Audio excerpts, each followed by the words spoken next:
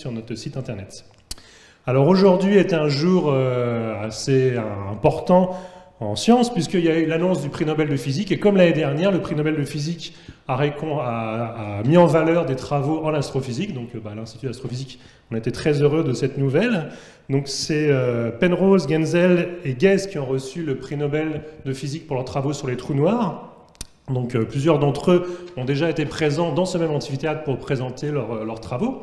Et notamment, on peut noter donc, le, prix Nobel à Guess, qui en fait, je l'ai appris, je n'avais pas réalisé ça, c'est seulement la quatrième femme à obtenir le prix Nobel de physique. Donc bah, on espère que dans les années à venir, euh, d'autres grandes physiciennes seront mises en valeur par ce prix prestigieux. Et ce soir, nous allons parler bah, d'une thématique qui a souvent été mise en valeur également par, euh, le Nobel. Nous allons parler de neutrinos, une thématique euh, donc à la jonction entre la physique des particules et l'astrophysique. Et donc nous avons le plaisir de recevoir Michel Gonin ce soir. Michel travaille au laboratoire Le Prince Ringuet. Il est également professeur à l'école polytechnique. Et donc c'est un physicien qui a travaillé sur beaucoup de sujets, qui a travaillé dans différents laboratoires en France, à l'étranger, enseigné dans différentes écoles, universités, pareil en France, à l'étranger.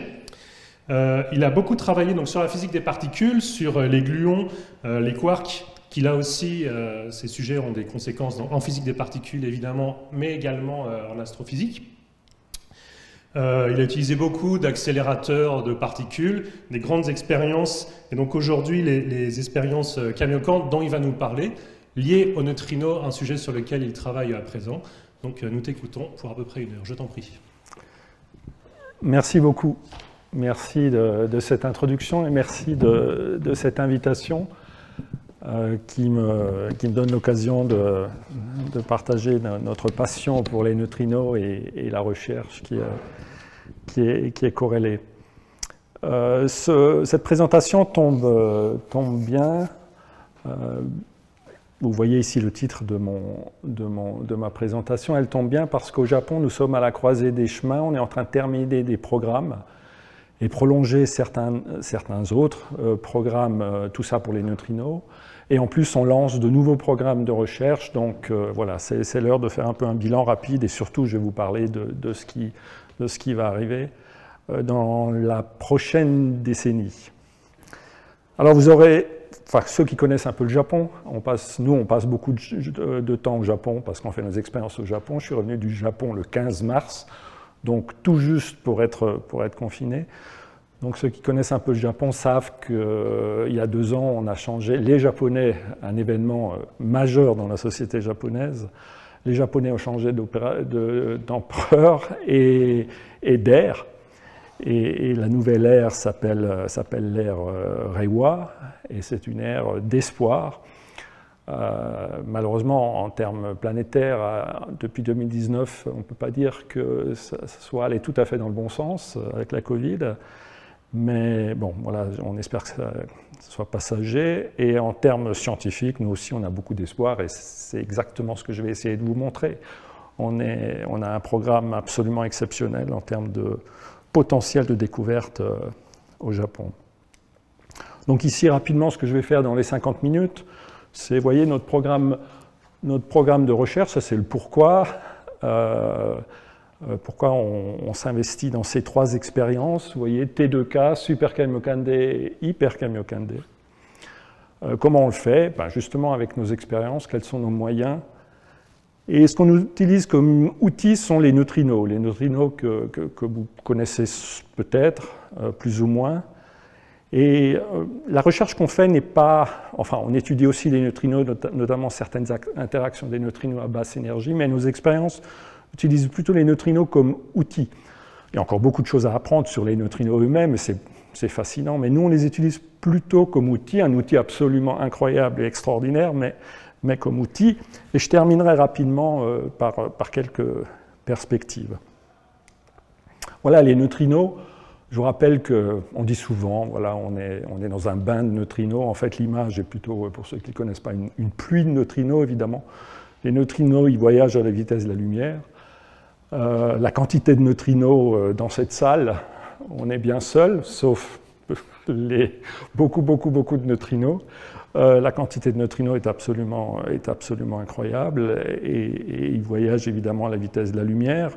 Une des caractéristiques d'ailleurs des neutrinos, contrairement à la pluie, que je prenais comme image, c'est que rien n'arrête les neutrinos. Et heureusement, d'ailleurs, étant donné la quantité de neutrinos qui est en train de nous traverser par seconde et par centimètre carré, on, serait, on, serait, radioactif euh, très très rapidement. Donc rien n'arrête les neutrinos, et contrairement à la pluie, évidemment, même quand il y a du soleil, il y a toujours des neutrinos, et c'est même le soleil qui nous envoie la très grande partie des neutrinos qu'il y a dans cette salle. Vous voyez, plus de 60 milliards par seconde et par centimètre carré.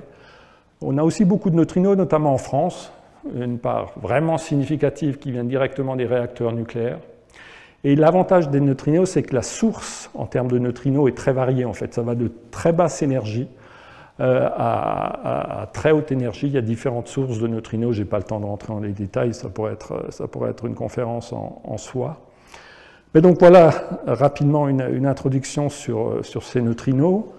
Euh, ce sont des particules élémentaires, ils font partie du, modèle standard. Vous voyez à gauche ici, euh, vous avez les, constituants élémentaires, essentiellement des quarks et des leptons. Les quarks, ça veut dire les protons et les neutrons, et les leptons, ça veut dire les électrons, ça vous les connaissez. Et il y a des électrons lourds, euh, et associés à ces électrons, il y a ces fameux neutrinos. Et donc, ils font partie des, constituants élémentaires, ils apparaissent dans trois familles absolument identiques, et on sait pourquoi il y a trois familles, c'est lié à des violations de symétrie. Il pourrait y en avoir une quatrième à très très haute masse, mais pour l'instant on se contente de, ces, trois familles. Et la particularité de ces neutrinos, vous voyez, d'abord, ils ont une charge électrique nulle. Je vous disais tout à l'heure que rien n'arrêtait les neutrinos. C'est-à-dire que les neutrinos sont uniquement sensibles aux interactions faibles. Et quand on dit interaction faible, ça veut dire interaction, mais très très très faible. Hein. Pour arrêter un neutrino, il faut à peu près 10 puissance 13 km de matière pour l'arrêter de façon certaine, évidemment. Donc, les neutrinos sont uniquement sensibles aux interactions faibles, c'est pour ça qu'on les appelle des leptons. En gros, ce sont des électrons, mais sans charge. Ils n'ont pas de charge électrique, donc ils ne sont pas sensibles aux interactions fortes. Ils ne peuvent pas vivre à l'intérieur d'un noyau nucléaire, par exemple. Ils ne sont pas sensibles aux interactions électromagnétiques parce qu'ils n'ont pas de charge. Donc, ils sont uniquement sensibles aux interactions faibles et donc ils interagissent pratiquement pas avec la matière. L'autre particularité qui a vraiment des conséquences très fortes, c'est leur état d'hélicité, c'est-à-dire en gros une particule élémentaire, on peut dire de façon naïve et classique, elle tourne sur elle-même, elle a un spin. Ben, le neutrino, lui, il n'a qu'une projection, c'est-à-dire qu'il tourne que dans un sens, d'une certaine façon, ce qu'on appelle l'état d'hélicité, et les neutrinos existent uniquement, euh, enfin ceux qu'on connaît en tout cas, ils existent uniquement avec une hélicité négative. En plus, on va le voir tout de suite, ces neutrinos, ils ont une masse mais alors très très faible comparée à l'ensemble de toutes les particules élémentaires que vous voyez ici à gauche hein, du modèle standard, euh, mais même par rapport à, à, leur, à, frères, si j'ose dire, dans le cadre du modèle standard, hein, euh, c'est-à-dire ils sont associés au lepton, l'électron, muon ou tau, même par rapport à l'électron, il a une masse très très faible. Et comme je viens de le montrer avec la pluie, euh, ils sont très très abondants et ils n'interagissent pratiquement jamais avec la matière. Pratiquement, heureusement, de temps en temps, c'est comme ça qu'on arrive à les détecter, mais pratiquement jamais avec la matière.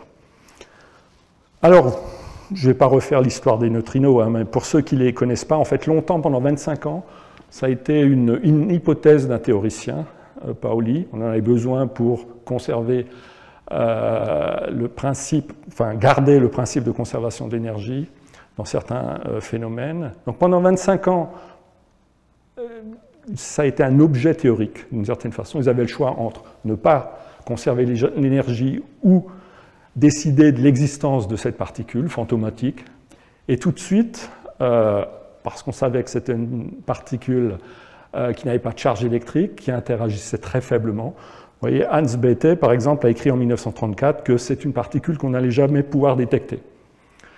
Donc ça prouve qu'on peut, on parlait de prix Nobel, ça, prouve qu'on peut être prix Nobel, puisque Bethe a eu le prix Nobel plus tard, euh, on peut être prix Nobel et écrire parfois, pas des bêtises, mais enfin des choses qui ne sont pas tout à fait vraies. Et qu'est-ce qui a fait évoluer les choses? C'est qu'à l'époque, il n'avait aucune idée qu'il y avait des sources aussi intenses de neutrinos, à commencer par les réacteurs, à commencer par le Soleil. Donc effectivement, c'est très, très, si vous attrapez un neutrino, c'est très difficile de le détecter. Mais si vous envoyez euh, des milliards de milliards de neutrinos dans un grand détecteur, vous, allez avoir une certaine probabilité d'avoir un événement de temps en temps. Donc c'est ça qu'il ne savait pas, et c'est pour ça qu'il dit on ne les détectera jamais. En fait, on les a détectés, et puis toute, l'histoire des, neutrinos euh, en a découlé. En fait, ici, vous voyez à droite, j'illustre le fait que finalement on peut voir les neutrinos, parce que ici, vous voyez, vous avez produit dans un accélérateur, ici c'est une photographie d'une chambre à bulles, c'est des anciens détecteurs très sympathiques où on faisait vraiment des photographies et on voyait les traces dans ces, détecteurs. Ici, vous voyez des traces, il y a eu une collision ici, et vous voyez que vous avez produit une particule ici qui, à un moment donné, vous êtes dans un champ magnétique, se transforme, entre guillemets, en une autre particule qui est beaucoup plus légère. Donc vous voyez, à cause de la densité de la trace, vous voyez qu'elle n'est pas la même que la première. Si, vous avez fait un peu de cinématique euh, relativiste, euh, euh, vous, pouvez, montrer facilement qu'en fait, une désintégrations de ce genre ne peut exister que si vous avez un deuxième corps, c'est-à-dire une particule ne, se transforme pas directement en une autre particule en, en changeant brutalement de direction. Et en fait, ici, on a nécessairement l'émission d'un neutrino. Donc, ici, on voit quand même d'une certaine façon et d'une façon indirecte les neutrinos.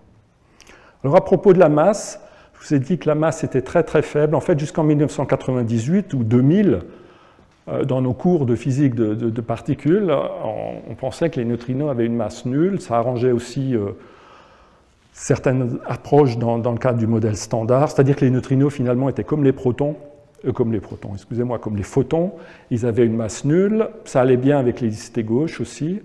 Et en 98, Super Kamiokande, justement, je vais en parler, a fait la découverte et a montré en fait que les neutrinos euh, avaient une masse et pour ça ils utilisaient les oscillations de neutrinos. Nous on va continuer à utiliser les oscillations de neutrinos, mais pour euh, un thème de recherche différent du thème de, la masse des neutrinos. Et donc cette découverte en 98 a valu le prix Nobel à la fois à Super Kamiokande et à Snow euh, pour, pour la découverte des oscillations atmosphérique et la découverte des oscillations solaires. Donc les, neutrinos ont une masse. Qu'est-ce qu'on sait de la masse des neutrinos? Ce qu'on sait, je l'ai déjà dit, elle est très faible. Hein. Vous voyez, on sait qu'elle est à peu près, elle ne vaut pas plus qu'un dixième d'électron. Euh, je vous rappelle que la masse de l'électron, vous voyez, c'est 500 000 électronvolts, un dixième d'électronvolt, excusez-moi. Vous voyez que c'est une masse très très faible par rapport à l'électron qui est déjà très très faible par rapport aux autres particules du modèle standard, particules élémentaires. À noter, puisqu'on est, on est à l'Institut d'astrophysique de Paris, cette valeur supérieure, en fait, ici, on l'obtient surtout et grâce à, des mesures euh, cosmologiques et, astrophysiques, hein, comme le, fond euh, cosmologique euh, micro-ondes, la distribution multipôle, par exemple, ou les clusters de galaxies, etc. Il y a même, même avec ces, résultats cosmologiques, hein, qui n'ont rien à voir avec la physique des particules, on, estime, on peut aussi euh, estimer le nombre de familles, par exemple, de neutrinos. Le chiffre le plus probable, par exemple, est de 3. Enfin bref. Donc, vous voyez que la masse est très très faible, et on sait depuis 1998 qu'elle est supérieure à zéro. En fait, ce qu'il y a de, ce qu'il y a de remarquable, c'est que cette masse des trois neutrinos, neutrinos électrons, neutrinos mu et neutrinos tau, qui sont chaque fois associés au lepton correspondant, c'est-à-dire à l'électron dans chaque famille hein, de particules élémentaires, vous voyez que cette masse, qu'on peut appeler M1, M2 et M3, euh, elle, a une allure assez particulière, c'est-à-dire qu'il y a deux états qui sont pratiquement dégénérés et un état qui est beaucoup plus loin. En revanche, on ne connaît pas le positionnement absolu de ces masses. Euh, on connaît seulement les écarts relatifs grâce, grâce aux oscillations. Et comment, comment s'inscrivent ces masses dans le cadre du modèle standard? Et dans le cadre de la hiérarchie de masse des particules élémentaires, d'une façon générale, là je reviens simplement à, ce que je disais tout à l'heure. Hein, vous voyez ici, vous avez en, en gigaélectronvolts sur l'axe Y, avec une rupture d'échelle ici, vous avez toutes les masses de toutes les particules élémentaires que je vous ai montrées tout à l'heure, et j'ai mis la dernière, c'est-à-dire le boson de Higgs, hein, la masse qui est responsable, enfin qui est, une manifestation d'un champ euh, qui donne la masse à toutes les autres particules élémentaires. D'accord donc vous voyez ces, masses, bon, on met de côté le photon et le gluon qui ont des masses nulles, mais vous voyez que ces masses ici, euh, on, a une certaine d'énergie, on a un facteur 10 puissance 5 euh, quand on passe de la masse du top quark à la masse de l'électron. Puis après, pour passer à la masse des neutrinos, il y a encore un facteur 10 puissance 6, une espèce de désert que personne ne comprend. Donc euh, voilà, voilà l'image qu'on a, enfin pas l'image, les résultats qu'on a euh, après beaucoup de mesures expérimentales. Et alors le problème, c'est pas l'objet de, et c'est pas l'objet de notre recherche aussi. Hein, il y a des détecteurs qui, qui, qui regardent ça de plus près. Mais la question qu'on peut juste se poser d'un point de vue, quand on regarde les neutrinos, c'est quelle est l'origine de la masse? En effet, l'origine de la masse des neutrinos euh, déclenche beaucoup de papiers théoriques et des réflexions de théoriciens. Euh, je vous ai dit tout à l'heure que le boson de Higgs, bon là ça devient un peu technique, hein, mais le boson de Higgs donne la masse des constituants élémentaires, sans doute jusqu'à l'électron. On l'a vérifié euh, récemment, même pour, pour le muon et des quarks plus lourds. Et en donnant la masse en fait de, ces particules, ce qu'elle fait, c'est qu'en permanence, elle associe les états d'hélicité dont je vous ai parlé tout à l'heure. C'est-à-dire qu'une particule qui voyage dans le vide, en fait, ce qu'il fait, c'est, vous voyez, c'est représenté ici, il se couple chaque fois avec ce boson de Higgs, qui est une particule élémentaire, et avant et après, l'état d'hélicité change. Et plus ce phénomène est fréquent, plus vous allez avoir une masse lourde. Vous voyez ici le quark top, ce qui lui arrive quand il voyage dans le vide, par exemple. Le problème avec le neutrino, comme je l'ai dit, il n'existe pas de neutrino droit, d'accord Il n'existe que des neutrinos gauches. Donc en principe, ce n'est pas avec le mécanisme de Higgs que vous allez pouvoir lui donner la masse. Après, il existe des mécanismes un peu plus, euh, complexes. Hein.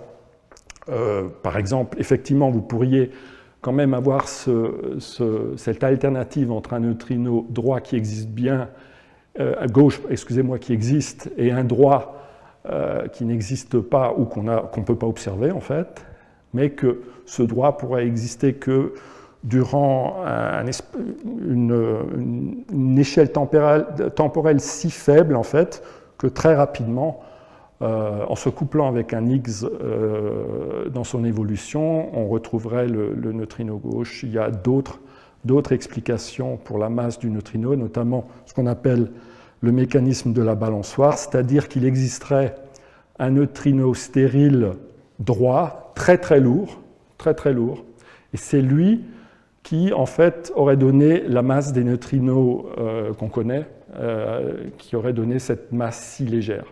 Dans euh, le modèle euh, de la balançoire, la masse euh, du neutrino droit, en gros, fois la masse du neutrino gauche, c'est-à-dire les neutrinos qu'on connaît, est une constante, plus ou moins. D'accord? Donc avec ce mécanisme, on, pourrait arriver à expliquer pourquoi les neutrinos gauches, c'est-à-dire nos neutrinos à nous, sont, aussi légers. Alors, donc ça c'était juste un petit rappel ou une introduction sur, euh, euh, les neutrinos. Notre programme de recherche au Japon, donc notre programme de recherche euh, est double en fait, et il est assez particulier parce qu'au moins d'un point de vue expérimental, ici on est dans la physique des deux infinis, hein, c'est-à-dire à, la fois l'infiniment petit et l'infiniment grand, mais d'un point de vue expérimental, on est plutôt, si vous voulez, ici vous voyez, vous avez l'évolution de notre univers, hein, que vous connaissez bien, avec euh, ce passage particulier ici à 300 000, années. À ce moment-là, l'univers devient transparent, la matière va commencer à apparaître, etc. Et avant ces 300 000 ans, l'univers est opaque et on a le règne plus ou moins de la physique des particules, la physique des hautes énergies.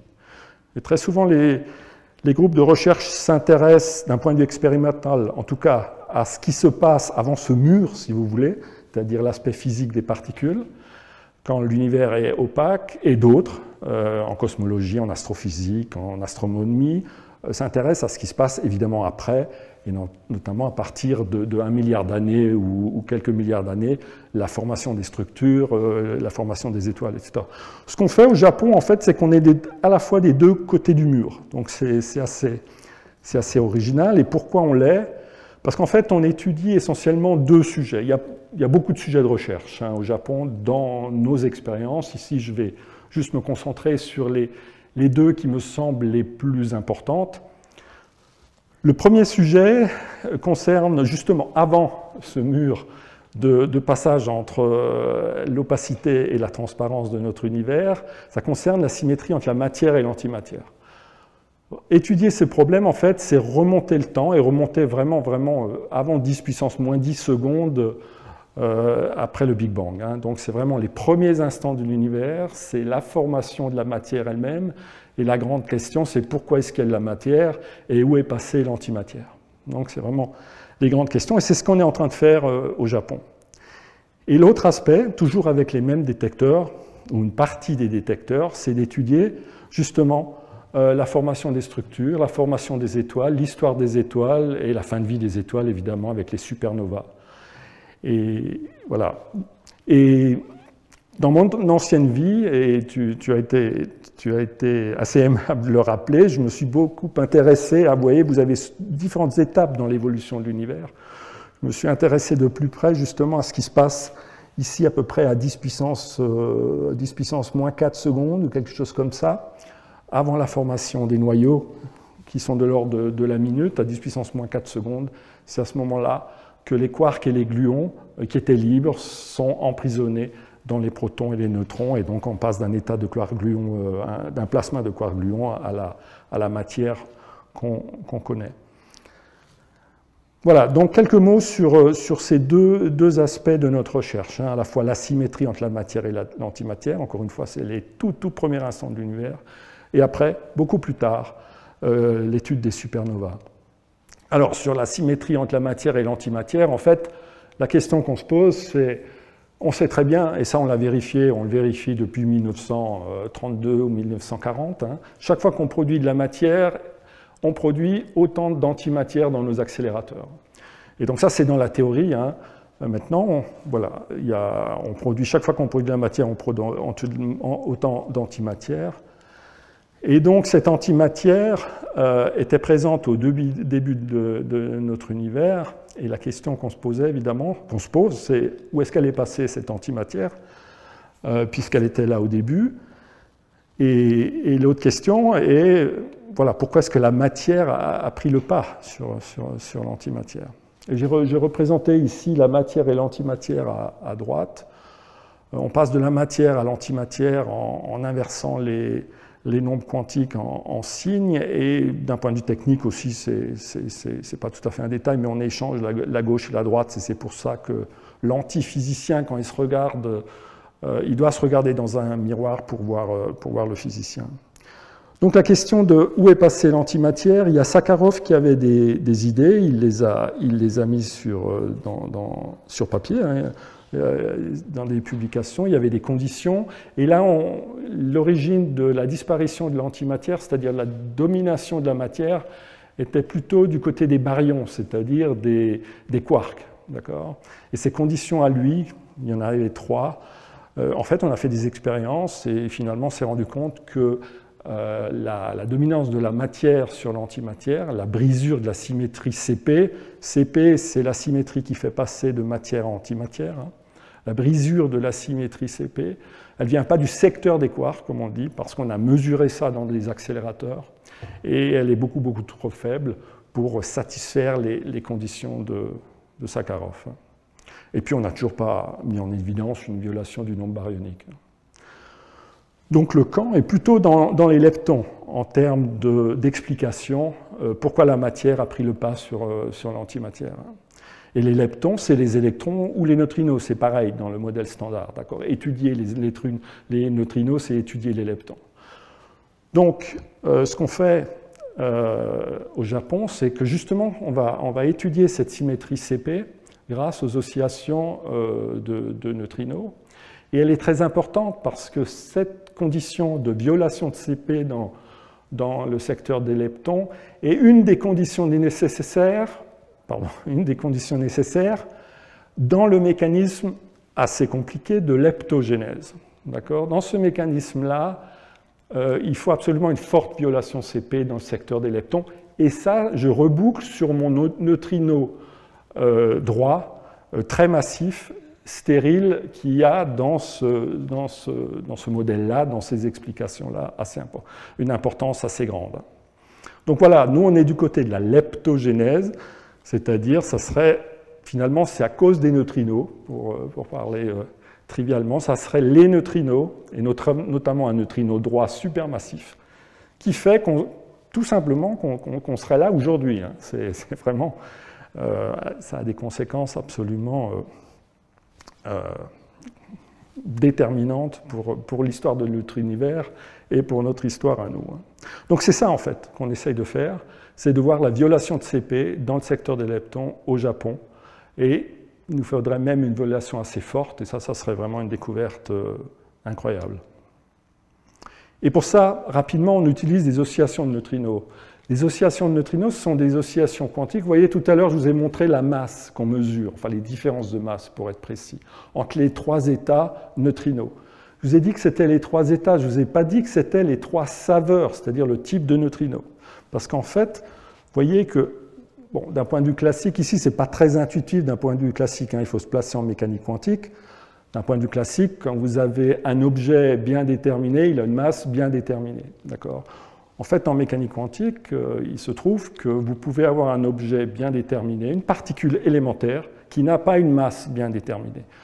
Donc si vous parlez d'un état de masse, par exemple ici M3, qu'on appelle nu3, vous voyez que c'est une composition en fait des états de saveur. D'accord?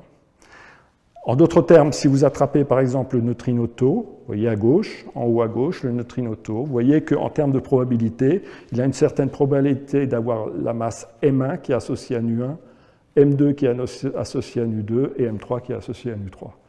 D'accord? Ce que vous voyez, c'est qu'on a mesuré cette proportion. Ça, c'est les expériences de neutrinos qui ont mesuré cette proportion. Ce que vous voyez globalement à gauche, c'est quand même que le neutrino tau euh, avec l'hypothèse à gauche, hein, il, serait le plus massif, si vous voulez. D'accord? Puisqu'il il, correspond à nu3, vous voyez la, proportion, statistiquement. Donc on a une espèce de hiérarchie normale, c'est-à-dire, évidemment, si vous en attrapez un, c'est de la mécanique quantique, vous n'êtes pas sûr de sa masse, mais si vous calculez la valeur moyenne de sa masse, vous voyez que le neutrino tau, à gauche, il serait, il serait le plus lourd, donc il va comme la hiérarchie des leptons, électron, muon, tau. D'accord? Il se trouve que dans les, dans les, dans les expériences d'oscillation, on ne fait pas la différence entre cette hiérarchie normale et la hiérarchie inverse, qui ferait que en fait, le neutrino-électron serait le plus lourd, ce qui ne semble pas intuitif, ne serait-ce que d'un point de vue esthétique, si j'ose dire. Bon, euh, on, va, on va lever cette dégénérescence. On fait des expériences pour lever cette dégénérescence. Pourquoi? Parce que on est obligé de connaître le signe de cette hiérarchie pour pouvoir mesurer justement d'autres choses qui nous intéressent. Donc le fait que les neutrinos euh, ont une masse qui n'est pas très bien déterminée, ça veut dire, je vais faire court ici, mais c'est de la mécanique quantique, hein, vous allez avoir un phénomène d'oscillation. Ce sont des masses très légères, les trois types de neutrinos, neutrino électron, neutrino mu, neutrino tau, des masses très légères, très très proches, et donc vous allez avoir un phénomène d'oscillation de saveur. Ça veut dire qu'un neutrino-électron que vous allez produire, bah, il pourra se transformer en neutrino mu ou en neutrino tau. C'est un effet purement quantique qu'on connaît dans d'autres domaines, hein, comme dans le secteur des quarks, euh, pour les oscillations euh, K0 et K0 bar. Et le fait de passer, de passer des états de masse aux états de saveur, c'est-à-dire de type de neutrino, ça on le, on le, on le, on le on le formalise dans le modèle standard par une matrice de mélange. C'est une rotation, si vous voulez. D'accord De façon un peu simpliste. C'est une matrice de mélange. Et c'est ça que les, physiciens euh, qui s'intéressent aux neutrinos, certains physiciens, ont mesuré, en fait, c'est ça ces paramètres de, la matrice de mélange. Et voyez, par exemple, euh, vous allez le voir tout de suite, dans l'expérience, euh, dans une des deux expériences que je vais, dont, dont, je vais vous montrer quelques résultats et, et les principes, on étudie l'oscillation neutrino-mu, neutrino-électron.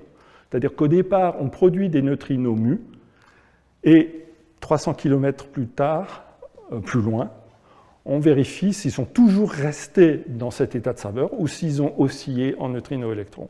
Vous voyez, ça, c'est les formules qu'on utilise pour, euh, pour détecter, euh, pour paramétriser ces oscillations. Avec ces formules, on détermine les, matrices, les paramètres de la matrice de mélange. Et on, peut déterminer un autre paramètre aussi que vous voyez ici, cosinus delta en rouge. Et ça, en fait, ça traduit simplement le fait que La matrice de mélange, je vous ai dit que c'était une rotation premier ordre. En fait, c'est plus compliqué. Les, états, sont, les états quantiques sont, des nombres complexes et c'est important hein, à cause des équations de Dirac et, de, et de Schrödinger. Donc la question ici, c'est que notre matrice qui intervient ici, est-ce qu'elle est réelle ou complexe? Et nous, dans le modèle standard, quand on utilise les neutrinos pour étudier la symétrie entre la matière et l'antimatière, dans le cas du modèle standard, on, caractérise euh, cette symétrie entre matière et antimatière par euh, ce paramètre-là, qui est la phase delta Cp. Si cette phase est nulle, ça veut dire que la matrice sera réelle, et une matrice réelle, évidemment, ça a à voir avec les équations de Dirac et comment on, définit les états des antiparticules. Mais en gros, ça a un rapport avec le complexe conjugué. D'accord? Et donc, si vous avez une matrice réelle, ben, vous voyez qu'il n'y aura pas de différence entre un état de la particule et le même état de son antiparticule. En revanche, si la matrice elle est complexe, et ça va être mesuré par delta, vous allez avoir une différence entre la matière et l'antimatière, c'est-à-dire entre la particule et l'antiparticule. Et ça, c'est dû en fait à un autre prix Nobel, on en parlait tout à l'heure, un théorème euh, qui a été énoncé, qui a valu euh, le prix Nobel aux, trois Japonais qui ont énoncé ce théorème, qui disait en fait qu'une violation entre la matière et l'antimatière, il y avait certaines conditions, il fallait trois familles, je vous l'ai déjà dit, c'est pour ça qu'il y a trois familles en fait. Et puis, il faut aussi que la, la matrice de mélange soit complexe. Et c'est ça qu'on est en train de mesurer au Japon. C'est ça qu'on est en train de mesurer. Est-ce que cette matrice de mélange est complexe? Et si elle l'est, est-ce qu'on a une violation maximale entre la matière et l'antimatière? C'est-à-dire, puisque c'est une rotation, le delta maximum qu'on peut avoir, c'est, euh, pi sur 2 ou moins pi sur 2. Donc voilà le, premier sujet de recherche, hein, l'étude matière-antimatière, et pour ça on utilise les, les oscillations de neutrinos comme laboratoire mais un laboratoire très fin pour étudier euh, ces différences entre la matière et l'antimatière. L'autre sujet de recherche, je vous l'ai dit, hein, c'est un milliard à, plusieurs milliards d'années plus tard, d'accord? Et un sujet qui nous passionne, ce sont les, supernovas. Ce n'est pas ici que je vais rappeler ce qu'est euh, une, supernova, mais pour, euh, pour ceux qui, pour ceux qui doutent, voilà, le supernova, c'est. Ici, je vais parler des supernovas de type 2. Il existe différents types de supernovas. La supernova, c'est simplement une étoile en fin de vie. Et ici, on parle d'étoiles massives. Donc, qu'est-ce qui arrive à une étoile euh, massive en fin de vie? Massive, c'est ici à peu près de 8 à 10 fois au moins supérieur à la masse du Soleil. D'accord? Ce qui arrive, c'est qu'il y, a une explosion. Euh, euh, gigantesque en termes d'énergie déployée dans cet effondrement de la masse de, de, l'étoile, excusez-moi. Et donc la luminosité qui est émise durant cette explosion, elle est, elle est comparable. Par exemple, ici c'est Hubble. Euh, qui, qui, montre euh, une, une, explosion, qui montre même l'évolution. Si vous allez sur Internet, vous voyez même l'évolution, puisqu'elle a, elle a commencé il y a deux ans et vous voyez la luminosité qui est petit à petit euh, faiblie en fonction, en fonction de, l'écoulement du temps. Hein. Donc ici, vous avez, vous avez, cette explosion de supernova dans une galaxie qui est, qui assez loin, lointaine, quelque chose comme 30 euh, ou 40 euh, mégaparsecs, hein, donc vraiment, vraiment assez loin. Trop loin pour nous, malheureusement, trop loin pour nous pour, pour étudier cette, cette explosion. Alors pourquoi ça nous passionne euh, d'étudier euh, l'explosion de supernova? Parce qu'on devine, on, connaît déjà beaucoup de choses, mais il y a encore beaucoup d'inconnus euh, sur le mécanisme précis de cette explosion. Et, l'explosion de supernova, si on arrive à, les détecter, ça nous dit aussi beaucoup sur le taux de formation de supernova, notamment au début de l'univers, c'est-à-dire le taux de, formation des étoiles. Euh, au moment de, après euh, les premiers instants de l'univers. Hein. Alors, je vous ai dit qu'il y a encore des inconnus au niveau du mécanisme précis euh, des, des, supernovas, hein, donc d'explosion des, étoiles massives en, fin de vie. Euh, il y a des inconnus, mais en revanche, on sait une chose depuis, 1900, depuis 1987, c'est que 99% de l'énergie fantastique, hein, l'énergie euh, d'une supernova, c'est absolument euh, fantastique. Vous avez vu, la luminosité est comparable à une galaxie, et la luminosité d'une supernova, c'est seulement 1% de l'émission de son énergie, puisque 99% ici sont, de l'énergie est émise sous forme de neutrinos. Donc évidemment, ça nous intéresse de les détecter et de comparer ces neutrinos, leur énergie, l'évolution dans le temps de ces neutrinos euh, pour pouvoir comparer au modèle évidemment et mieux comprendre euh, ce mécanisme absolument euh, fondamental de, notre univers, notamment pour produire les éléments les, plus lourds, d'une part, deuxièmement, pour produire les, étoiles à, neutrons et éventuellement les trous noirs. Et on en a parlé aujourd'hui avec, avec le prix Nobel. Donc c'est très important de comprendre le mécanisme précis. Alors c'est assez, on, connaît des choses. Hein. L'étoile, vous le savez très bien, euh, sans doute, que, l'étoile c'est une grosse, une grosse usine qui fabrique de l'hélium à partir d'hydrogène. Et cette, fabrication d'hélium permet, grâce à l'énergie nucléaire qui est, développée, hein, euh, contrebalance en fait l'énergie gravitationnelle qui a tendance à effondrer, à se faire effondrer l'étoile sur elle-même. À un moment donné, il n'y a plus assez d'hydrogène, donc euh, il y a le cœur, il y a un cœur dur qui va se former, l'étoile commence à s'effondrer sur elle-même. Hein. On a une, supernova du type effondrement du cœur, l'étoile commence à s'effondrer sur elle-même. En s'effondrant, en s'effondrant, en s'effondrant, avec les en s'effondrant, en avec l'effondrement sur elle-même, pardon, avec l'effondrement sur elle-même, la température va augmenter, à ce moment-là, il y a des mécanismes qui, interviennent et on va pouvoir fabriquer des éléments lourds, comme euh, le carbone, etc. Et on aura une structure en, pelure d'oignon, si vous voulez, et puis on va arriver au fer, d'accord? Au centre de votre euh, géante rouge, ici, qui est déjà avec à la périphérie les éléments beaucoup, beaucoup plus légers, hein, les gaz, etc. Au centre, il y aura du fer, d'accord? Et à un moment donné, le fer, quand on arrive au fer, là, euh, le processus euh, s'arrête parce que euh, pour fabriquer au-delà du fer, en fait, il faut amener de l'énergie. et donc le processus va s'arrêter. C'est un phénomène bien connu en, physique nucléaire. Et donc là, il n'y aura plus grand-chose en termes d'énergie nucléaire pour contrebalancer l'effondrement total de l'étoile sur elle-même, mais il y a quand même deux choses qui vont ralentir ce processus, voire l'interdire. D'abord, c'est la, répulsion entre les électrons, d'accord, parce que les électrons sont des fermions.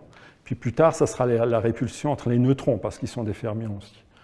Et donc, sans rentrer dans les détails, la répulsion entre les électrons, elle va, elle va à un moment donné ne plus intervenir, parce que justement, par des phénomènes d'émission de, neutrinos. On va changer d'abord les électrons entre eux, étant donné la densité euh, au centre de votre euh, géante rouge.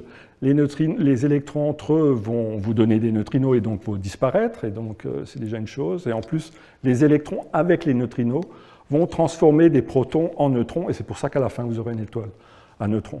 Tout ça pour vous dire que les neutrinos euh, vont, jouer le rôle d'évacuer la quantité d'énergie impressionnante qui est en train de s'accumuler au milieu de votre étoile. Et en fait, il n'y a que les neutrinos qui peuvent faire ça, parce que justement, ils interagissent très peu avec la matière. Et donc même, par exemple, le rayonnement électromagnétique, on l'a vu sur l'explosion de 1987, il arrive beaucoup plus tard, deux jours après, par rapport aux neutrinos. Il met du temps à sortir, et euh, et alors qu'il y, a déjà nettement, nettement moins d'énergie. Et donc voilà, les neutrinos, ils ont, il, y a, il y a ce côté euh, euh, proton qui change en neutrons, euh, collision entre les électrons, et puis le fait que les neutrinos peuvent, peuvent sortir d'un milieu hyper dense.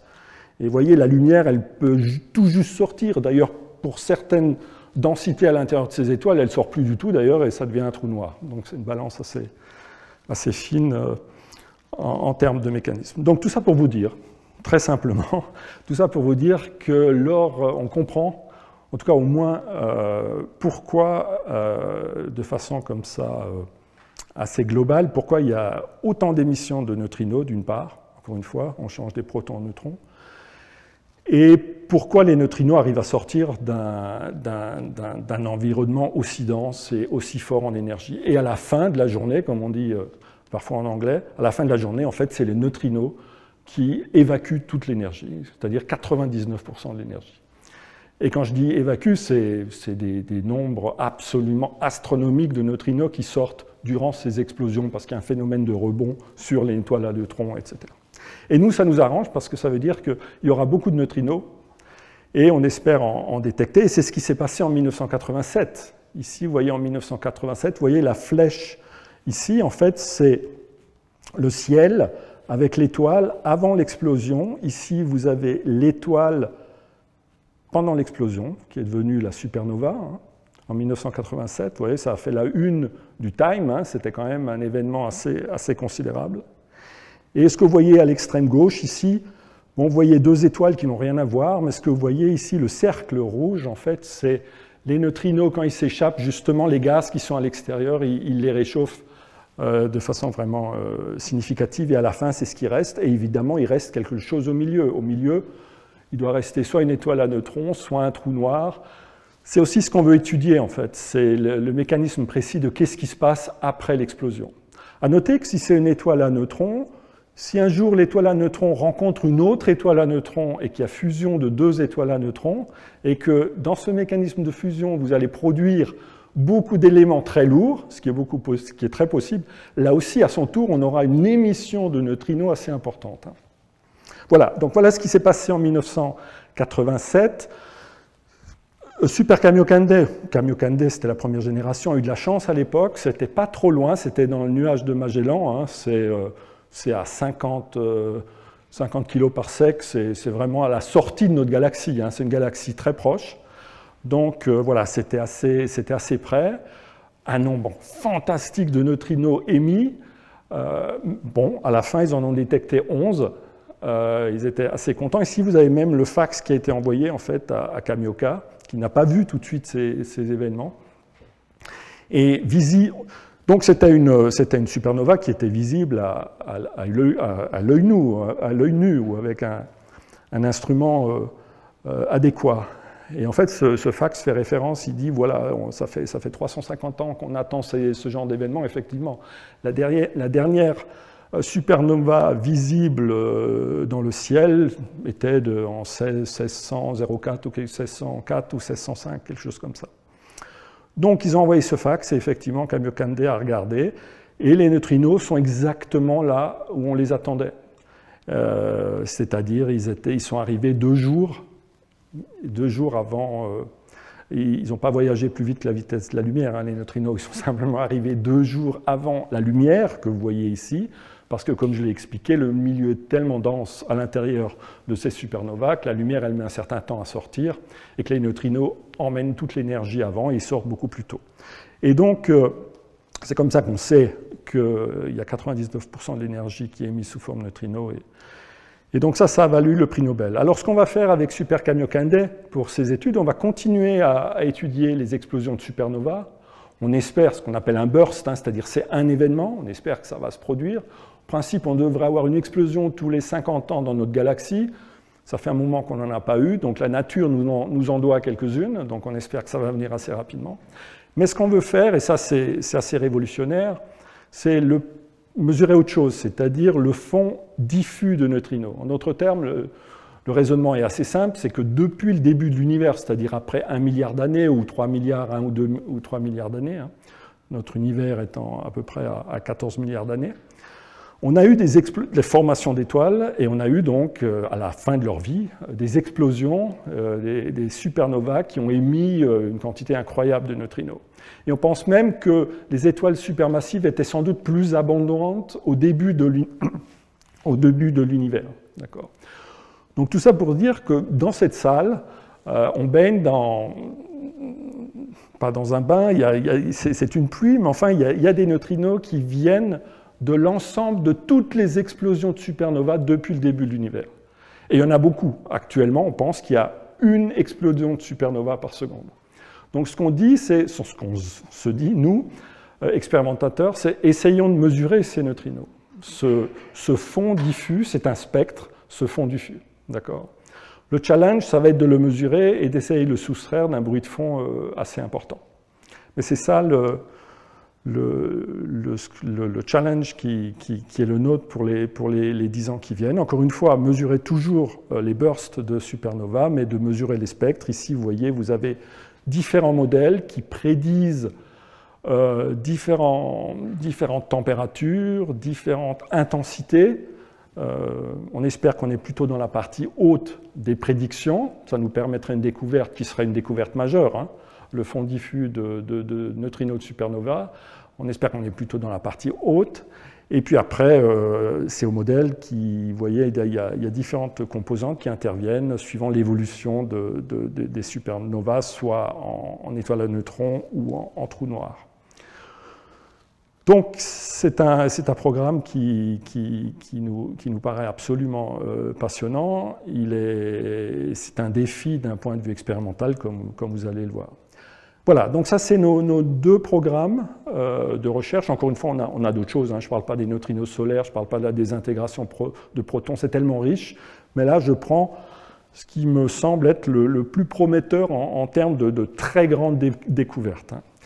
Alors comment est-ce qu'on fait tout ce qu'on veut faire, c'est-à-dire étudier la violation de CP, étudier les supernovas, détecter le fond diffus de neutrinos de supernovas pour ça, on a deux expériences. La première à gauche, Super Kamiokande, la plus simple.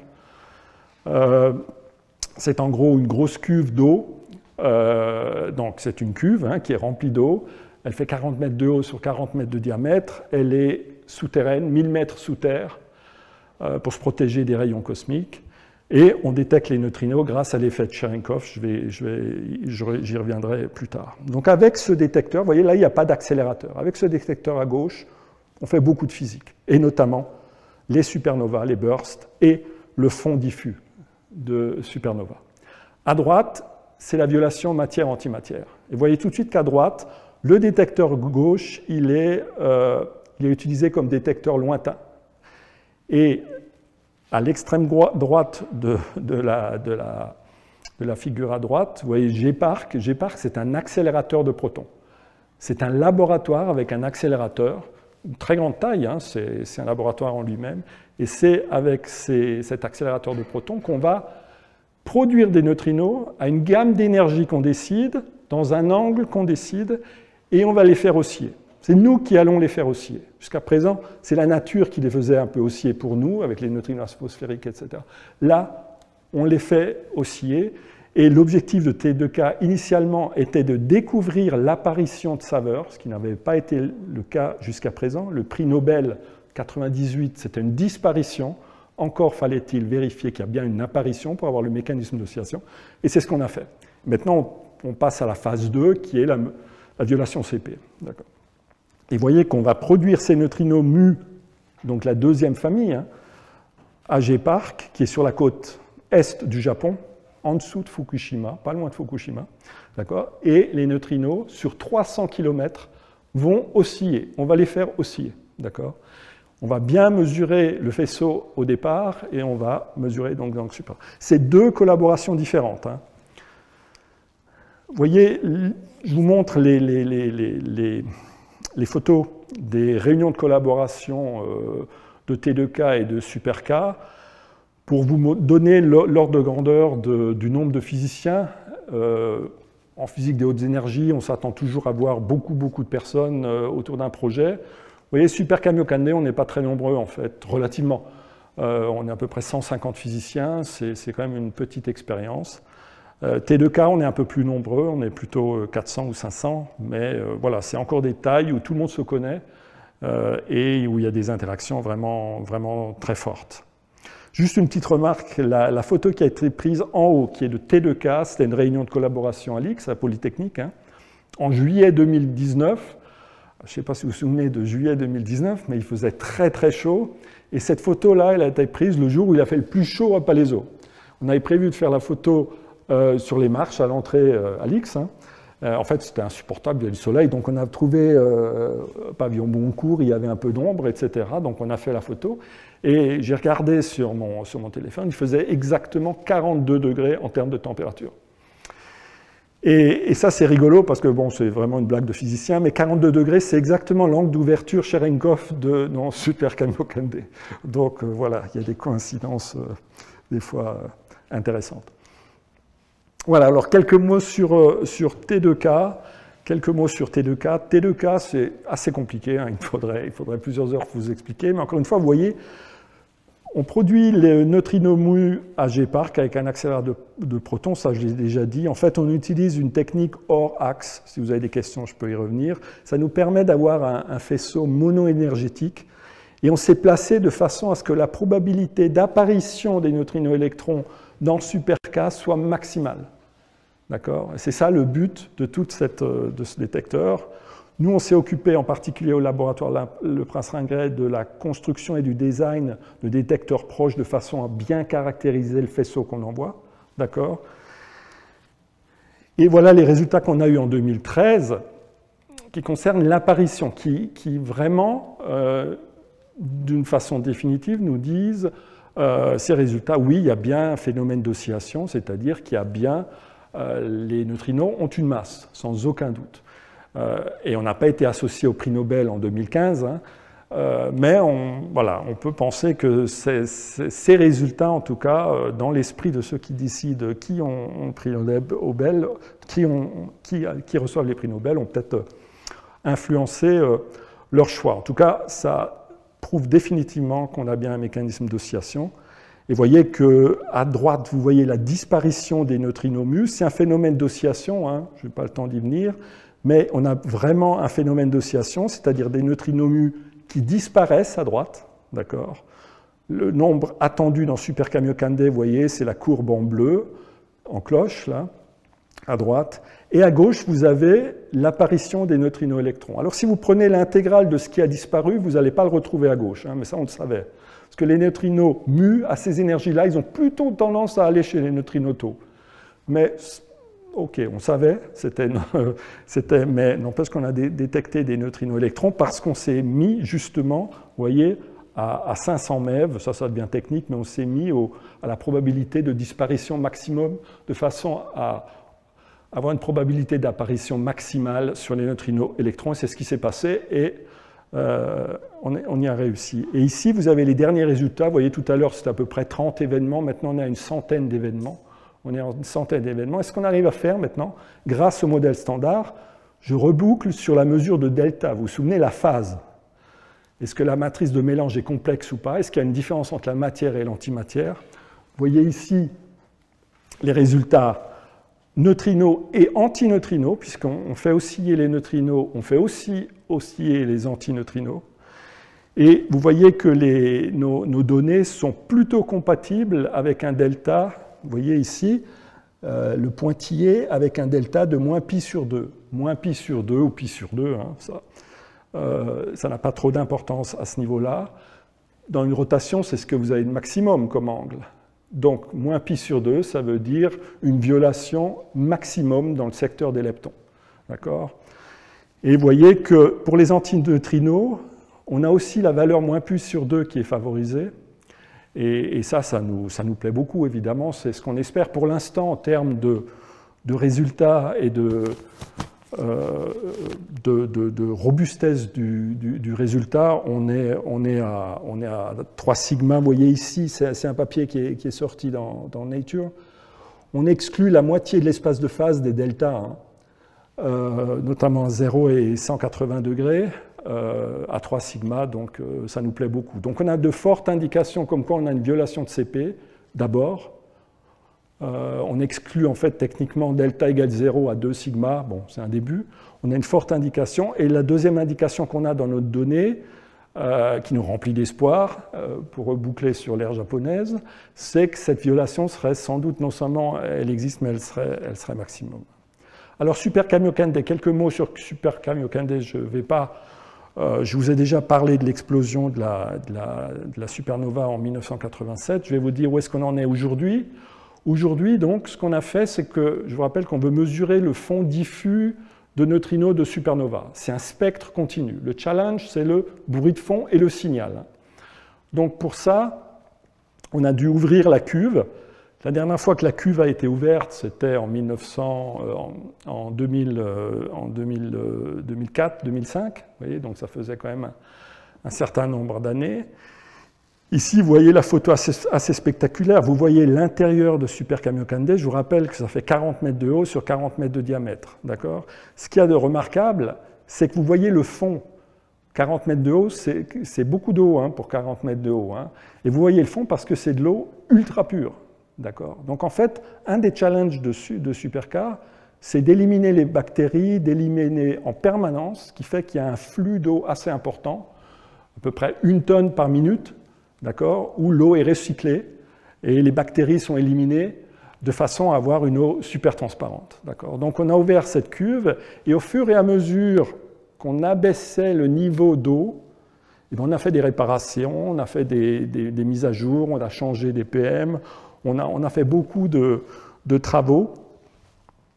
Alors pourquoi est-ce qu'on a ouvert cette cuve? Pourquoi on a fait ces travaux? Là, juste quelques mots sur la, technique de détection dans Super Kamiokande. En fait, vous voyez ici, quand un neutrino rentre dans la cuve, il va rencontrer soit un proton, soit un neutron. D'accord?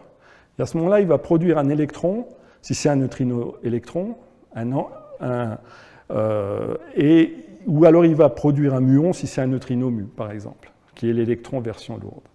Mais si c'est un antineutrino, il va, euh, produire un anti-électron, d'accord?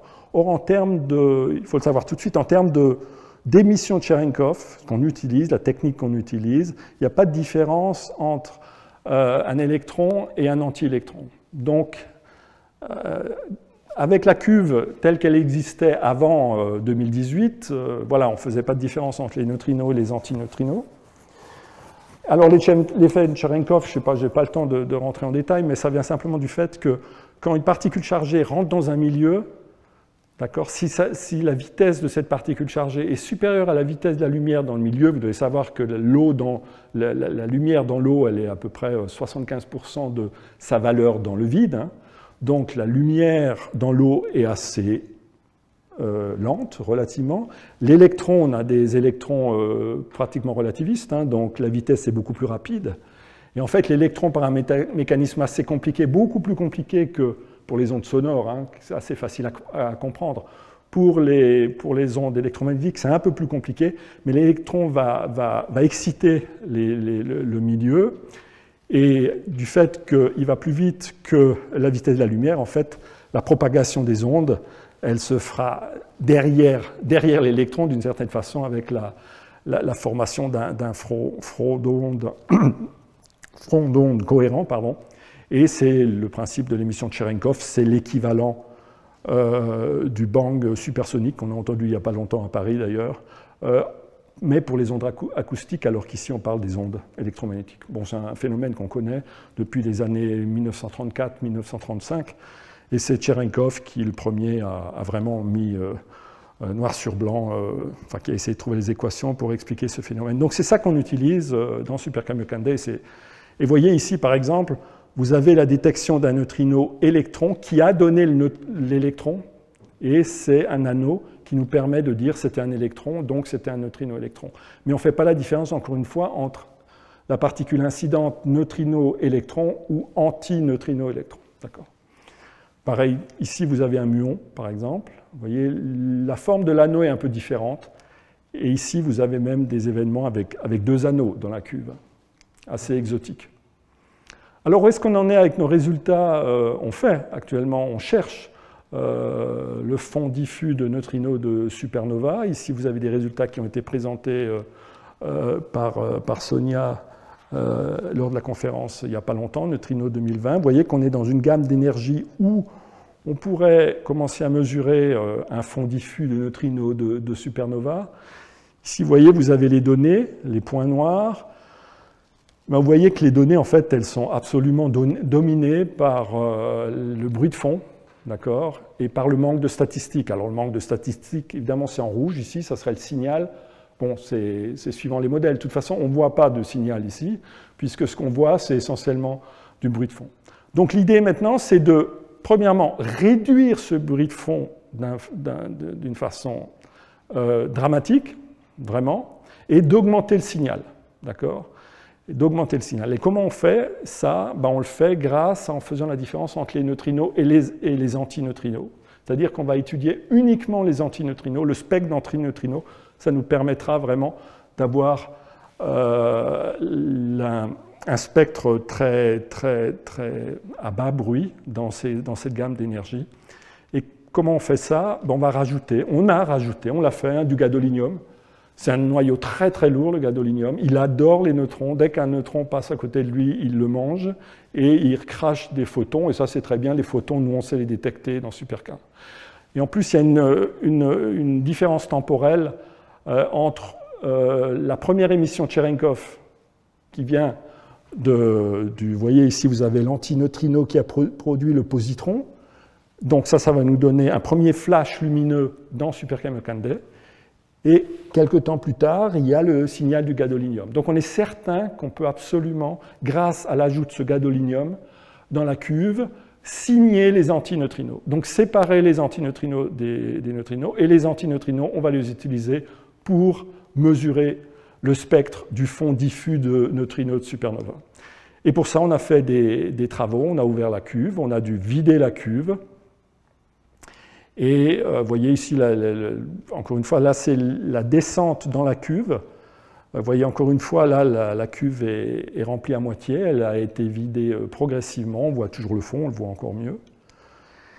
Et ici on voit d'autres photos, notamment on commence à voir les nacelles, vous voyez à droite là, qui nous servaient de d'endroits où on pouvait justement avoir accès. Euh, il y a les bateaux euh, pneumatiques, évidemment, mais euh, c'est sur ces, plateformes, pardon, ces plateformes en plastique qu'on utilisait pour pouvoir accéder aux détecteurs.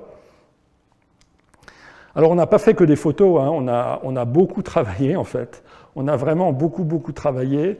Et on a travaillé à la japonaise, c'est-à-dire que professeurs, euh, chefs de groupe, euh, thésards, euh, stagiaires, on a tous mis la main à la pâte et on a passé notre temps au fond de la mine, si j'ose dire, à changer des détecteurs et à mettre à jour l'ensemble des, euh, de, tout le, circuit. Et puis là, on a aussi, euh, il y avait de la rouille, enfin, il y avait plein de choses. C'était vraiment un travail très, très important. Et tout, ça au fur et à mesure que, l'eau descendait. Et maintenant, ça, ça fonctionne. Euh, le gadolinium est dans la cuve. Vous voyez, c'est une poudre blanche. Vous voyez en bas à gauche, c'est une poudre blanche, assez chère. donc voilà, on l'a mis dans la cuve. Euh, vous voyez ici, il y a les 14 tonnes avant euh, leur introduction dans la cuve d'eau. On a un système euh, assez complexe de circulation d'eau. On a dû vérifier la transparence de l'eau et tout. Enfin, d'un point de vue technique, c'est très très complexe. Voilà, pour encore 5 minutes pour les perspectives pour les 10 prochaines années, ça va être très court. Vous voyez à gauche, vous avez Super Kamiokande, je crois que vous l'aurez compris. On a le gadolinium dans la cuve, tout fonctionne très bien. On a déjà des événements euh, le gadolinium qui a capturé les neutrons et qui émet des, photons, ces événements, ce n'est pas encore le fond diffus de neutrinos de supernova, c'est des muons qui viennent euh, des muons cosmiques. Il y en a de temps en temps qui traversent les 1000 mètres. Donc ça marche très bien. On est prêt pour prendre des données. Bon, on espère une découverte peut-être d'ici 3 ans, peut-être d'ici 5 ans. C'est très difficile, ça dépend de l'intensité de ce fond diffus de, de supernova. À droite, T2K va continuer à prendre des données sur la violation de CP, on va avoir une mise à jour de nos détecteurs, un upgrade de la machine, enfin là aussi un, projet très important. Et enfin, Hyper Kamiokande. En attendant, j'en ai déjà un peu parlé, on va, on va continuer à observer tous les phénomènes violents avec Super Kamiokande grâce au gadolinium parce qu'on a des seuils beaucoup plus bas maintenant. On va continuer à observer tous les phénomènes violents, notamment les ondes gravitationnelles, les fusions d'étoiles à neutrons, les fusions de trous noirs, et chaque fois qu'il y a ce genre d'événement qui se produit, eh ben, on espère qu'il y a des neutrinos qui sont associés. Par exemple, ici, vous avez la fusion de deux étoiles à neutrons, hein, bien connues.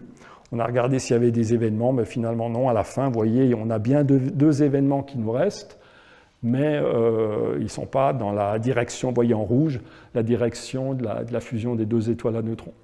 Ceci dit, on s'attendait à ce résultat, hein, parce que cet événement-là de fusion de deux étoiles à neutrons, elle était à peu près à 30 ou à 40 mégaparsecs. Euh, avec Super Kamiokande, on ne va pas à 40 mégaparsecs. Donc ça aurait été vraiment très très étonnant. Euh, on vérifie plutôt que ça, fonctionne bien. Notre, Il n'empêche qu'un jour, on verra des neutrinos avec ce genre d'événement et ça sera absolument extraordinaire.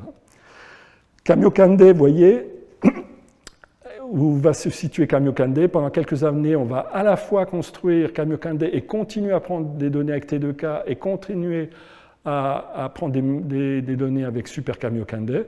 Kamiokande se trouve de l'autre côté de la ligne de faisceau qui arrive de J-Park, hein, ça c'est pour les oscillations. Kamiokande, ça va être Super Kamiokande mais en plus grand, d'accord? En termes de volume, vous voyez, à gauche, ici, vous avez Super Kamiokande en rouge et Hyper Kamiokande en orange. Vous voyez la, taille d'Hyper Kamiokande, ça va être déjà Super Kamiokande, vous avez vu les photos. Hyper Kamiokande, ça va être gigantesque. Dans Hyper Kamiokande, vous pouvez, en termes de volume, et même en termes de hauteur, hein, vous pouvez mettre largement Notre-Dame. Hein.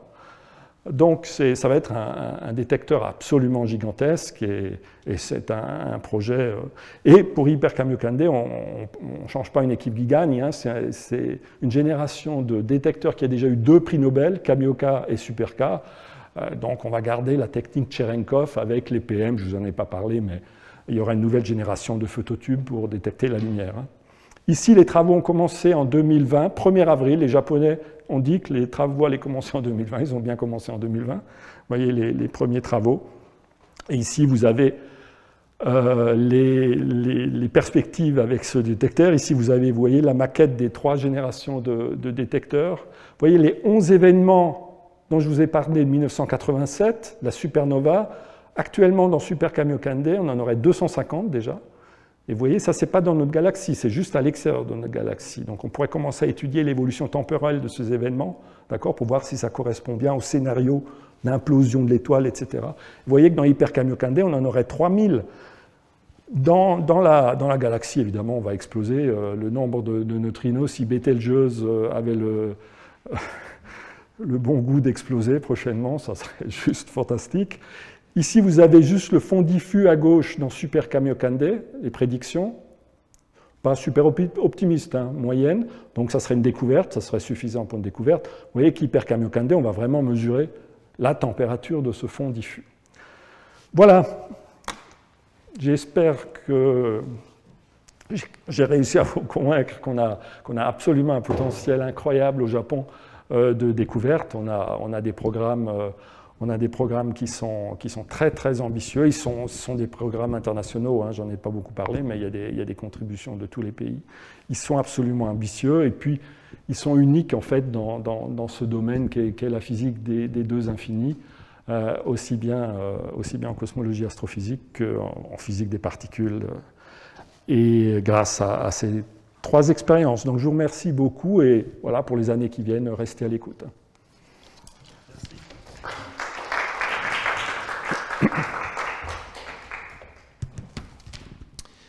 Merci beaucoup Michel pour euh, cette présentation. Euh, moi j'ai appris plein de trucs. J'ai bien aimé aussi euh, l'humour de physicien sur les 40 degrés, ça m'a plu. Et sur, je connaissais pas la remarque de Hans Bethe là sur le fait qu'on pourrait jamais détecter les neutrinos. Mais c'est intéressant. C'est sûr que c'est intéressant de voir qu'un prix Nobel peut se tromper, mais surtout, il me semble que ça illustre bah, la, recherche. On, a des connaissances, on la, la, prédiction des neutrinos est quand même une, une prédiction extraordinaire. Le fait qu'elle ait été vérifiée, c'est vraiment un grand succès de la science, me semble-t-il. Et puis bah, cette phrase de Hornbeth, alors en effet, il s'est trompé, mais bon, c'est ça la recherche. Quand on, discute, on observe, et puis on comprend mieux les choses au fur et à mesure.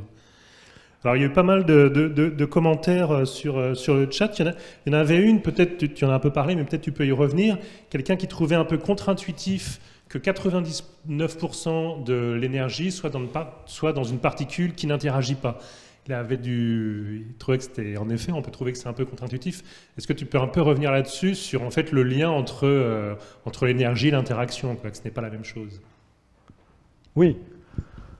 Ben, quand vous avez, par exemple, dans le phénomène de, quand vous avez un des phénomènes importants dans, ce principe d'effondrement de, l'étoile supermassive hein, dans un cœur euh, très dense, un des phénomènes importants, comme je l'ai dit, c'est pour que l'effondrement continue, hein.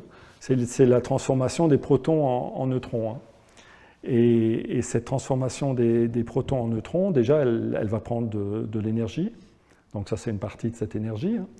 Et puis, et puis l'autre partie, c'est l'énergie cinétique des, des, neutrinos, qui vont évacuer une, autre partie de toute cette énergie. Euh, d'accord, merci. Euh, une autre question.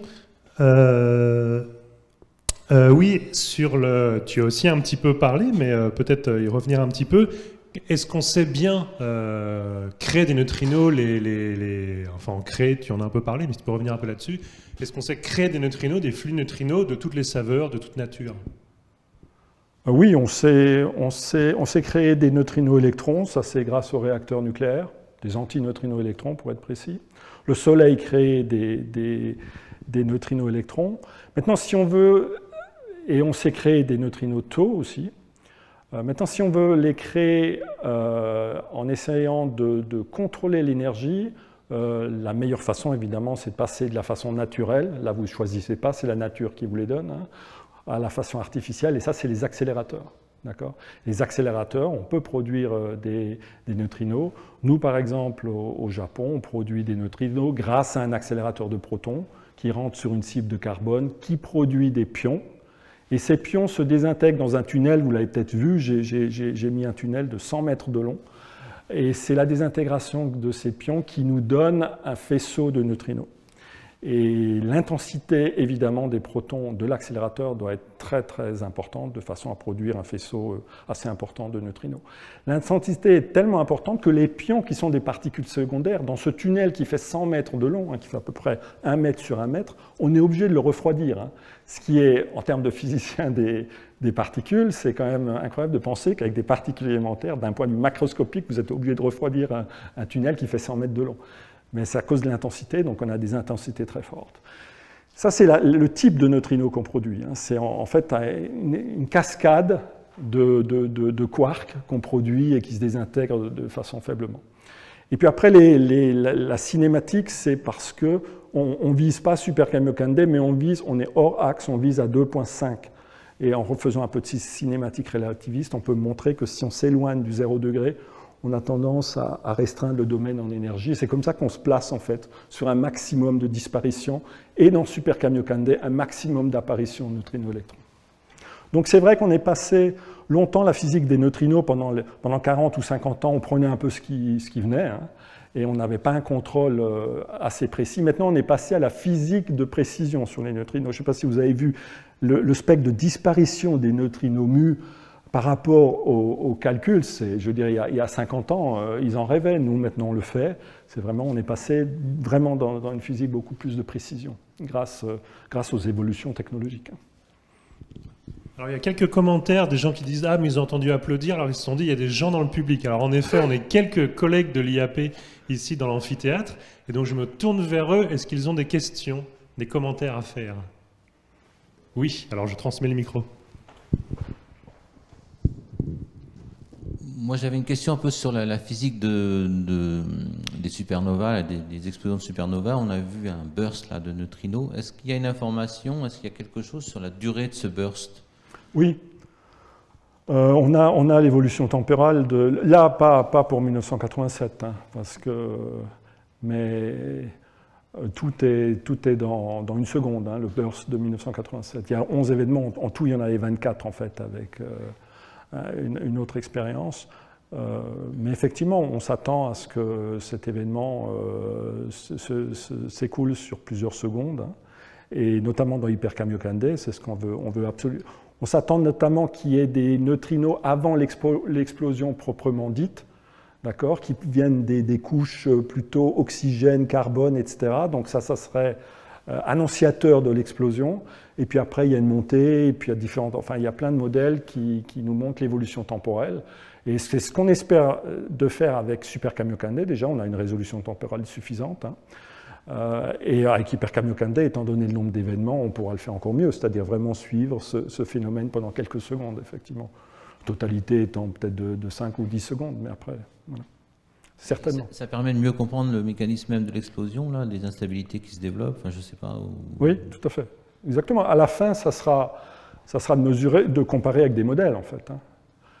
Et c'est vrai que les modèles de supernova, euh, maintenant il commence à y avoir des simulations. Je ne suis pas du tout un expert de supernova. Hein. Maintenant il commence à y avoir des simulations, etc. Euh, mais c'est relativement euh, récent. C'est assez complexe. Je pense qu'on comprend assez bien ce, phénomène d'effondrement. Avec le fer, ça s'arrête. On, passe des protons aux neutrons, ça on le comprend bien.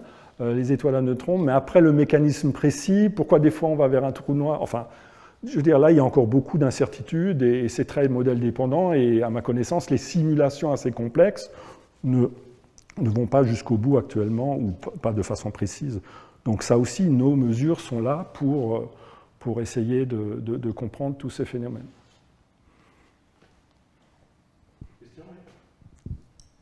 Oui, alors moi, j'aimerais savoir si euh, ces instruments, ils observent vraiment en permanence, parce que vu la rareté des, supernovae euh, galactiques, euh, est-ce qu'on a l'assurance que s'il y en a une dans les, je sais pas, dix prochaines années, c'est sûr que les instruments seront en fonctionnement à ce moment-là? C'est une bonne question, ça c'est une question d'expérimentateur. oui, c'est vrai que c'est notre angoisse, puisque je, quand, si, un jour, si un jour tu viens avec moi à Super Kamiokande, Nakahata, qui est actuellement le spokesman de Super Kamiokande et qui était le thésard qui a analysé les données, hein, il te sort le listing hein, où on voit les 11 événements qui montent là. Et trois heures après, il n'y a, rien pendant 24 heures parce qu'il y avait, un, shutdown pour euh, changement de, haute tension, des etc. Donc ça, ça l'a traumatisé. Donc lui, il est obsédé par ça, effectivement. Donc, euh, par exemple, je suis allé vite, mais lors des réparations, euh, puisqu'on a ouvert la cuve pendant un an. Euh, bah, en fait, ce qu'on a fait avant, c'est qu'on a testé cette histoire de gadolinium, notamment la transparence hein, de la lumière, c'est très important pour avoir ces magnifiques anneaux. Hein. Euh, est-ce que le gadolinium n'allait pas tout foutre en l'air? Donc, il y a, en fait, il y a un mini Super Kamiokande à côté. Il s'appelle IGADS, hein, qui est beaucoup plus petit, qui est à peu près 15 ou 20 tonnes. Et ça, c'était notre assurance. C'était notre assurance que s'il y avait une explosion de supernova, on, allait quand même voir des neutrinos. Mais effectivement, quand tu prends des données à Super Kamiokande, euh, tu dois absolument être, euh, je veux dire, les temps morts, il ne faut pas que ça existe, il ne faut pas louper. Euh. Et ce qu'il y a de temps en temps, c'est que quand tu prends des données, il y a un fake explosion dessus, juste pour nous maintenir bien en éveil. il y a des tests euh, comme s'il y avait une supernova qui venait d'exploser, enfin venait il y a très longtemps, hein, mais qui arrivait sur Terre, et donc tu as des événements qui correspondent à ça. Alors la première fois tu es excité, mais après tu comprends que c'est juste la simulation pour voir si tu dors pas, il faut réagir, il faut appeler les experts, etc. Donc, mais effectivement, ça... Oui, parce que ce qui est fascinant, c'est que la prochaine supernova galactique, elle a déjà explosé, les neutrinos sont en train de voyager vers nous là. Exactement. Et parce que justement, euh, s'il y a une supernova galactique, ce qui est potentiellement très intéressant, c'est que même avec un peu d'asymétrie, elle sera tellement proche qu'on pourrait détecter les ondes gravitationnelles également associées. Et j'ai l'impression que pour l'instant, les détecteurs de neutrinos ont quand même une, un temps utile, disons, euh, sur euh, de nombreuses années qui est très supérieur à celui des, détecteurs d'ondes gravitationnelles qui continuent à faire des prises de données de durée euh, limitée tous les deux ou trois ans. Enfin, vous êtes mieux placé pour l'instant en termes de, de permanence de l'observation, j'ai l'impression. C'est vrai. Ceci dit, ça serait génial d'avoir la coïncidence avec les ondes gravitationnelles, parce que un des sujets euh, évoqués, c'est la masse des neutrinos. On a l'impression qu'elle est tellement faible que d'un point de vue expérimental, on ne voit vraiment pas euh, comment la mesurer, sauf peut-être par temps de vol. Euh, à ce moment-là, le T0, ça serait les ondes gravitationnelles, et puis si les, les, neutrinos, ils ont une masse, donc ils doivent arriver, ils doivent arriver légèrement après. Après, ça va dépendre du mécanisme, si c'est des fusions ou d'autres choses, d'étoiles à neutrons, mais euh, voilà, ce qu'on espère, c'est qu'un jour, il y aura aussi ce genre de multi-messager euh, avec les neutrinos de basse énergie par rapport au phénomène d'onde gravitationnelle. Alors disons, euh, c'est peut-être un peu plus technique, mais donc tu as bien montré l'apport du gadolinium pour pouvoir distinguer neutrinos et antineutrinos électroniques. Et euh, je me demandais justement, à l'époque de 1987, moi j'avais l'impression, moi je ne suis pas du tout spécialiste de ces détections de neutrinos, qu'on disait que les, 11 neutrinos détectés c'était des anti-neutrinos électroniques. Et comment on le sait dans ce cas-là? Euh, Oh, ça c'est par, rapport au modèle. Ah, c'est le modèle ou c'est la modèle, sensibilité dans la gamme On a tendance à dire que dans les supernovas, il y a quand même beaucoup plus d'anti-neutrinos électroniques que de neutrinos, mais ce n'est pas expérimental.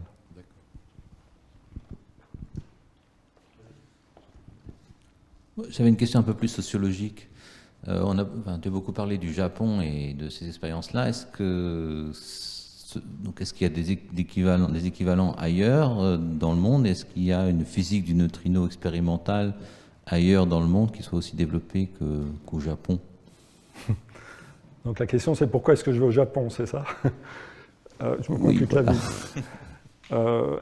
non, c'est sûr que les différents pays sont, investis dans, la recherche en termes de neutrinos. Il n'y a, pas, que le Japon. Le Japon, la spécialité du Japon, c'est le water Cherenkov quand même, avec les succès qu'on a vus. Hein. Euh, mais il y a aussi, euh, il y a aussi les États-Unis avec SNOW, qui a été associé au prix Nobel sur, euh, sur la découverte des oscillations hein, pour les neutrinos solaires. Donc les États-Unis, c'est très important. Il y a l'équivalent du projet Hyper Kamiokande, mais aux États-Unis, qui s'appelle Dune, qui est une expérience par, enfin, gérée par le Fermilab et, et, l'ensemble de la communauté internationale. Donc ça, c'est vraiment le concurrent d'Hyperkamiokande aux États-Unis. Et puis en France, il y a évidemment d'autres expériences, des, expériences sur réacteurs notamment, euh, qui ont étudié euh, les paramètres de la matrice de mélange, par exemple. Euh, le fameux dernier angle de mélange, θ 1,3, qui est double chaud. Il y a des expériences plus petites, toujours sur réacteurs, qui cherchent le neutrino stérile, le fameux neutrino droit, pour être si, important pour plein de choses d'ailleurs. Euh, donc non, non, il y a une activité neutrino euh, mondiale assez, importante. Moi, j'aime beaucoup la technique du Water-Cherenkov.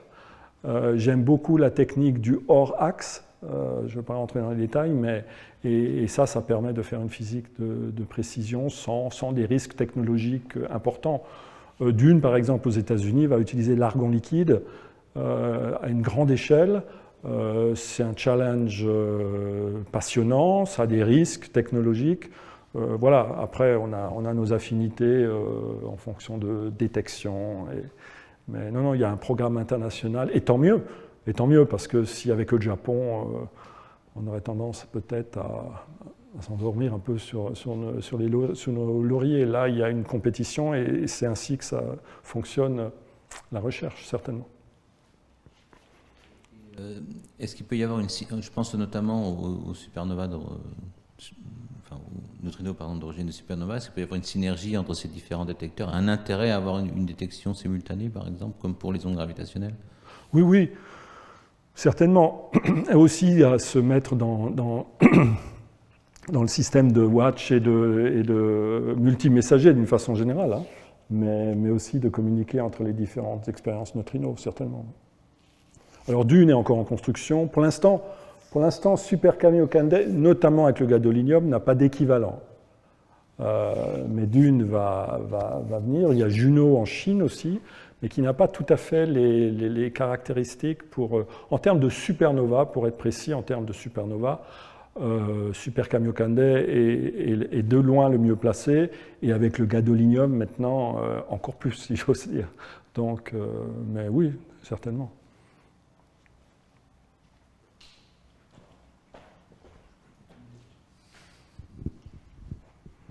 Peut-être pour finir, une dernière question euh, liée au chat. Est-ce qu'on pourrait imaginer un type de matière euh, qui interagisse avec les neutrinos? Qui interagissent beaucoup plus que... Euh,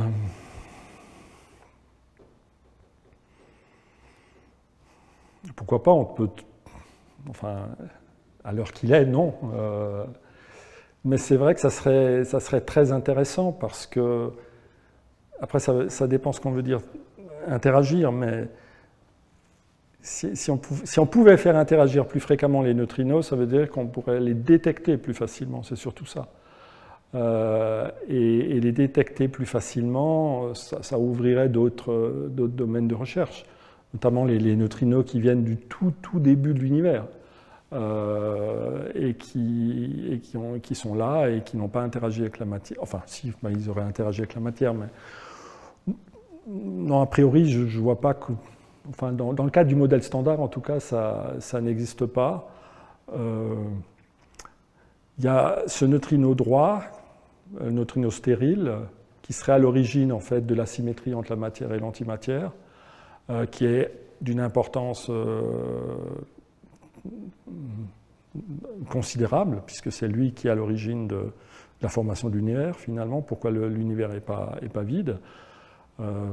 Mais lui, de toute façon, euh, il se désintègre. En fait, c'est dans, sa désintégration, c'est dans des intégrations lepton léger euh, qu'il a, choisi que qu'il y, a plus de symétrie entre la matière et, l'antimatière.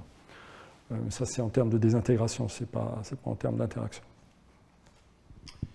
Eh ben merci. Je vous propose d'arrêter là. Donc, merci Michel pour cette conférence. Euh, donc nous nous retrouvons le 3 novembre prochain, euh, où de nouveau probablement nous ne pourrons pas accueillir du public dans notre amphithéâtre, mais donc nous diffuserons en direct sur euh, YouTube. Donc nous recevons Alessandre Le Tiec qui nous parlera d'astronomie par les ondes gravitationnelles. Voilà, merci, bonsoir.